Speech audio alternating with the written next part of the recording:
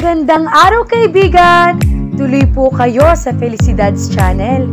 Sa mga kwento ng buhay at pag-ibig na hinalukay sa natatagong baul ni Felicidad.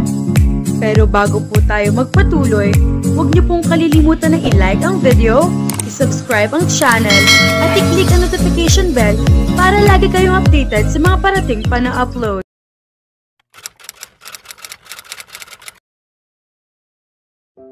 Kinapa ni Melody ang baseball bat sa ilalim ng kanyang kama. Nang masigurong naroon iyon at abot kamay niya, ay nakontento na siya. Iyon lang ang kailangan niya kung sakaling may aberyang mangyayari sa kanya sa pagkakaroon ng isang estranghero sa kanyang mini compound. Kung sadyang magiging hindi ka nais-nais ang sitwasyon, ay mayroon siyang baril sa closet niya. Pag-aari pa iyon ni Gary. She remembered Gary fondly. Maaaring isang kahangalan iyon, ngunit iyon ang totoo. Noong una, ay abot langit ang kanyang galit dito. Ngunit mabilis din niya itong napatawad. Ngayon na pumanaw na ito, ay wala na ang galit sa kanyang puso. Bagus, ay madalas niya itong naaalala na mayroong ngiti sa mga labi niya. Kahit kung tutuusin, ay isang magandang buhay na sana ang mayroon siya kung hindi nito nagawa sa kanya ang lahat ng iyon. Parati kasi niyang naiisip na kung hindi dahil dito, marahil ay takot na takot pa rin siya sa pamilya niya na tila wala pa rin pagmamahal sa kanya sa kabila ng lahat ng napatunayan niya sa mga ito. She worked a deal with those people Garfield. Siyang mag-isang humarap sa mga higanteng kumpanyang nananakot sa kanya ng demanda. Ang una niyang plano ay ang lalong magsipag. Ang damihan ng pagpasok ng trabaho sa imprenta ngunit hindi naging madali para sa kanyang gawin iyon sapagkat nagpalabas ng notice ang mismong pamilya niya na nagsasabing wala siya o si Garing na kinalaman sa mga ito. Ang pagkakaroon ng ganoong notice sa isang pahayagan ay malaki ang negatibong epekto sa negosyo niya. Hindi nagtagal, kahit iyong mga dating kausap niya ng maayos ay parang nangambang magpagawa sa kanya. Wala siyang naging option kundi ang magpa-COD na lamang ng mga order na paunti-unti hanggang sa pangunahan na siya ng pag-aalala patungkol sa mga demanda. Ibinenta na niya ang mga gamit. Ang ilang milyong puhunan ay nauwi sa pagbabayad ng utang ni Gary, habang ang iba naman ay ipinambayad niya sa mga makinang hinuhulugan pa rin niya. Ang tanging natira sa kanya ay ang Chandler and Price ng kanyang ina, polymer plate maker, at ang lumang foil stamping machine. Ang mga iyon ang tanging gamit niya ngayon Walang kaso sa kanya. Wala na siyang binabayarang utang. Bagaman, milyon ang nawala sa kanya. Nagdesisyon siyang gawin na lang ang hilig niya. Ayaw na niyang mag-corporate kahit pa naroon ang pera. Kontento na siya sa mga ginagawa niya ngayon. Ang produkto niya ay invitations at stationery. Iyon ang noon pa niyang kinahihilingang gawin. Doon siya masaya, kahit sabihin pang hindi na siya mayamang maituturing ay masaya siya. Iyon ang kayamanan niya. Wala siyang kinatatakutan ngayon na kahit sino sapagkat wala na siyang atraso sa kahit sino. Wala ng utang na kailangang bayaran. She was taking it one step at a time. Si Gary ay may dalawang taon na ring pumanaw. It was unfortunate.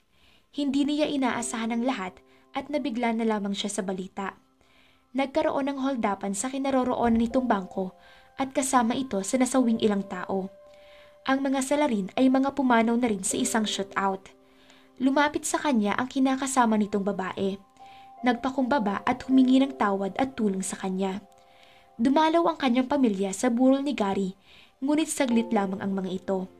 Nagbigay lang ng abuloy. Marahil ay para lang walang masabi ang mga tao at hindi na nagpakita pa sa libing.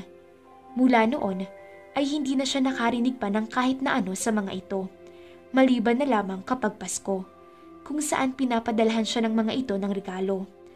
Alam niyang noon pa na ang mga regalo para sa mga tsahe niya at sa mga taong hindi kasama ng mga ito sa bahay ay hindi mismong ang mga ito ang naghahanap ng regalo, kundi ang sekretarya ng mga ito. Batid niyang kabilang na siya sa nireregaluhan ng sekretarya ng mga ito. Sa bawat okasyon sa buhay ng pamilya niya, ay nagpapadala siya ng mga cards Katulad noong bata pa siya, wala siyang galit sa puso niya para sa mga ito. All she had for them was understanding. Nauunawaan niyang magkaibang mga ugali nila. Pakiramdam niya ngayon ay mas malaya siya. Bagaman, aminado siyang parati siyang malungkot dahil mag-isa lang siya. There were nights when she still cried about Gary. Naaalala niya ang mga sinabi nito sa kanya, ang nakapagpataas ng kanyang moral. She remembered them making love even. She remembered him as a man, her husband, not as someone who betrayed her. She remembered them dancing there, in that house, when they bought it. She remembered happy moments. Iyon ang mas pinili niyang alalahanin kaysa ang mga masasakit na alaala. She was no longer in love with him. Sigurado siya sa bagay na iyon. She was in love with the good times they had together. Mayroong malaking pagkakaiba iyon. In love siya sa mga ganoong pagkakataon sapagkat natatandaan niyang masayang masaya siya noong mga panahong iyon. Hindi na siya umaasang mayroon pa siyang makikitang bago sapagkat hindi siya lumalabas sa munting kaharian niya. Masaya na siya at kontento roon. Lumalabas lang siya kapag may bibilhin siyang supplies. Ngunit karaniwan sa mga iyon ay ipinapadeliver na lamang niya. Minsan ay bumibisita siya sa mas pinupuntahang opisina niya sa Cubao. May isang tao siya roon. Pumikit na siya. Umaasang maayos magtrabaho ang lalaking nakuha niya. Mukhang maayos naman ito. Bagaman, tila puno ng misteryo ang mga mata. Ah, marahil ay naghahalusinasyon lamang siya sa tagal na mag-isa lamang siya sa bahay na iyon. Pupungas-pungas pa si Melody nang magising kinabukasan. Dumiretso siya sa banyo. Nang matapos, ay lumabas na siya ng bahay patungo sa dirty kitchen. Anong pagkabigla niya nang makitang may tao roon?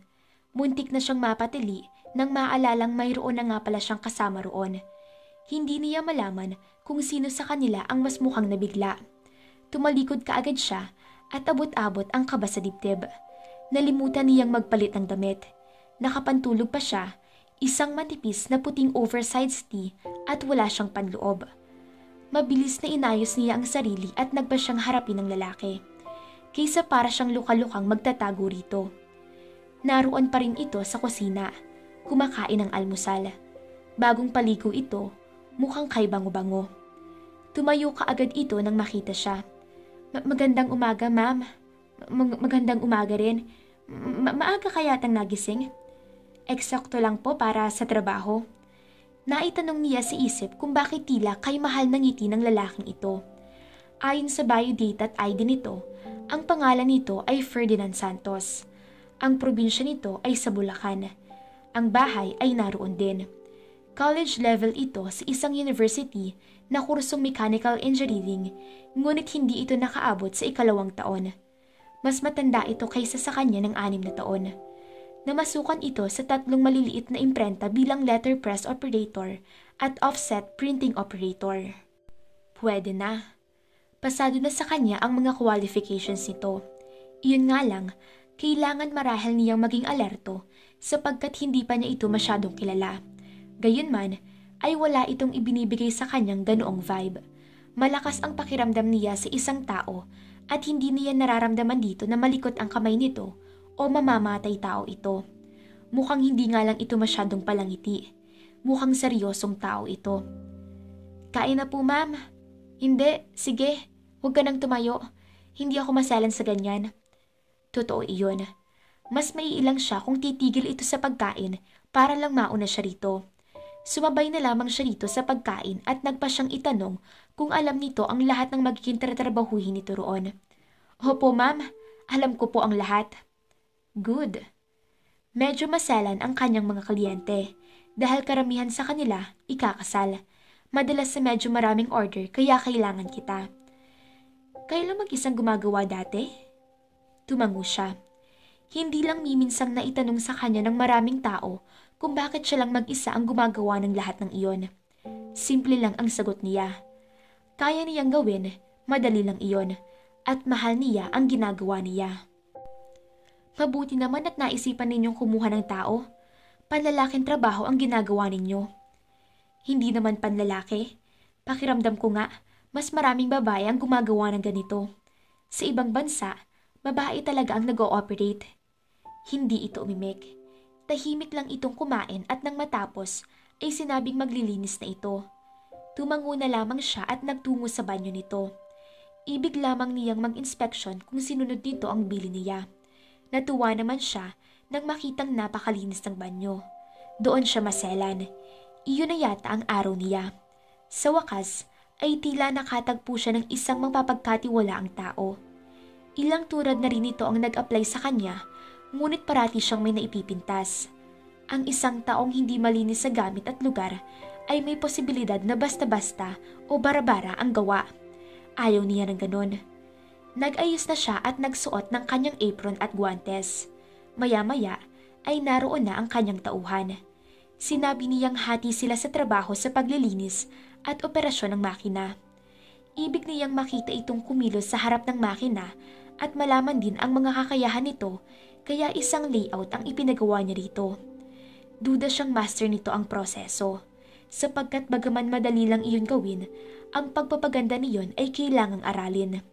She had more than a decade's worth of experience, so she knew everything about it. Naroon ang polymer plates natin. Marunong ka ba sa exposure? Tumango ito. Nagsimula na nga itong kumilos. Iba ang teknik nito sa kanya. Noong una, ay nagduda siya sa kalalabasan ng produkto nito. Ngunit nang isalang na nito sa makina ang lahat ng iyon, kasama na ang papel, ay tuwang-tuwa siya nang makita ang resulta. Ngiting-ngiti siya rito. Natutuwa akong marunong ka nga at hindi ka sinungaling. Sinungaling? Ilang tao na ang nag-apply sa akin na nagsabing marunong sila. Lahat alam nila. Pero iba kasi itong makina na ito. Alam kong alam mo yan. Tumango ito na may bahagyang ngiti sa mga labi. Ngiti nga ba iyon talaga? Ah, sadyang may pagkamisteryoso ang bago niyang machine operator. Inilabasan niya ang lahat ng gagawin para sa araw na iyon at paulit-ulit ang ibinigay na instruction dito. Ma'am, naiintindihan ko na po. Sigurado ka? Opo.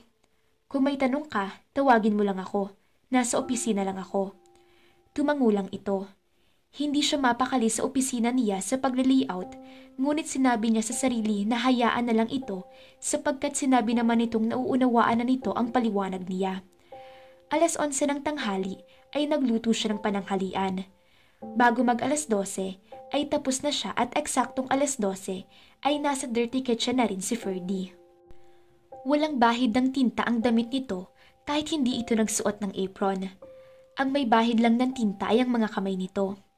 Kumusta? Okay na po? Kumain muna tayo. Sige ma'am, mauna na po kayo. Sabi ko sa'yo, hindi ako maselan. Tumangulang ito ng bahagya at dumulog na sa hapag. Napansin niyang napakatipid nitong magsalita. Ayaw niya ng ganoong ambience, kaya nagpa siya siyang kausapin ito. Bukod pa sa sabik na sabik siyang makakausap. Para bang naiimbak ang lahat ng gusto niyang sabihin at lumalabas lang kapag may kaharap siyang ibang tao. May kliyente ang pupunta mamaya. Tumawag na siya. Gusto lang nilang makita itong warehouse. Bahagya lang itong tumango. Para bang ayaw nitong makipag-usap o baka nahihiya lang ito kaya muli siyang humirit. Matatapos kaya natin ngayon ang lahat ng trabaho? Marami po ba? Yung ibinigay ko sa'yo. Tapos na po. Ha? Okay na po, ma'am. Lahat? Eh, eh, eh, yung envelope. Okay na po. Hindi siya naniwala rito. Kung siya ngang eksperto ay inaabot ng maghapon, ito pa kaya? Kung sa bagay, marahil, ay mas mabilis talagang kumilos ang lalaki kisa sa babae. Pero ano ito? Superman ang imprenta? Bukod sa printing, tatabasin pa nitong envelope at ilang magkakaibang sukat iyon. Kaya parang imposible ang sinasabi nito. Hindi kaya nagpasikat lang ito kanina at bara-bara lang ang gawa nito? Pwes, makikita niyo mamaya. Nang matapos kumain ay ito na ang nagboluntaryong maghugas. Siya naman ay nagtungo sa work area nito. Sinindihan niya ang lahat ng ilaw, kabilang ng ilaw sa ilalim ng mesa na para talaga sa pag-aanalisa ng mga letra sa papelman. Cliché o type. Sinuri niya iyon ng maiki. Isa-isahin niya iyon. Hindi siya mapapakali kung hindi, sapagkat totoong sinabi ni Ferdy. Lahat ng kailangan nitong gawin ay tapos na, maging ang paglalagay ng paste sa envelope. Halos hindi siya makapaniwala. malinis sa malinis ang trabaho nito. Pasado po ba? Muntik na siyang mapatili, guilty sa pagkakahuli na ine-inspection niya ng maigi ang gawa nito. Okay naman, ang bilis mo. Ilang daan lang naman po yan, ma'am. Kahit na, natutuwa ako sa'yo. Nakangiting lumapit na siya rito. Nabigla siya nang tumaas ang palad dito sa kanyang muka at napaigtad siya nang lumapit ang daliri nito sa kanyang ilong. Pinunasan nito ng daliri ang tungki ng kanyang ilong. Saka ipinakita sa kanya ang daliri nito. May bahid iyon ng pintura. Nag-init ang kanyang muka. Nagtangkang patayin ang pagkailang.